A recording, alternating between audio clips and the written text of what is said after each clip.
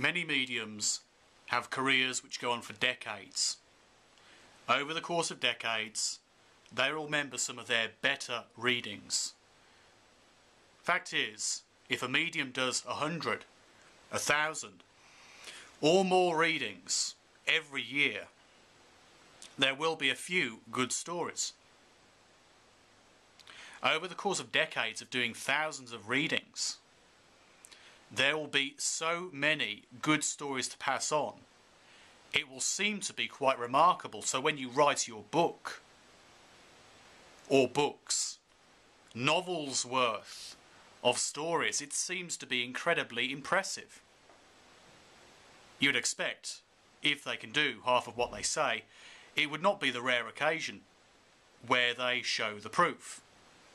You know, rare occasions very often separated by months or years throughout the medium's or psychic's career. So the career of these psychics is pebble dashed with failure, and yet amongst these pebbles you'll find an occasional diamond. Most of the readings would still be the generalization, still the cold reading they don't fully realize is cold reading. And of course, the occasional instance which they remember in favourable terms where they did incredibly well. Although they remember, as they prefer to remember, and they remember the hits, they remember the good parts, they remember it in a disproportionate way, and therefore they remember it wrongly.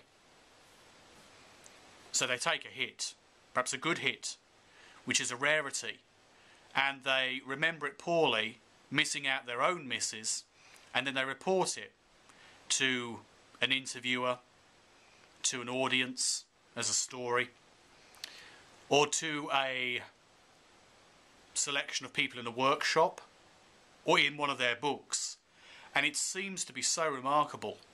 And many people would think it can't be true. Well, guess what? You're right. And in fact, it isn't true. It's where they've got a few hits over the course of many years and they've embellished it within their own works, within their own writing and talks to try and make it seem like it's far more impressive. And then people pass on to me and other skeptics these stories and say, how do you explain that? Even though there are no solid facts, there's no solid evidence there.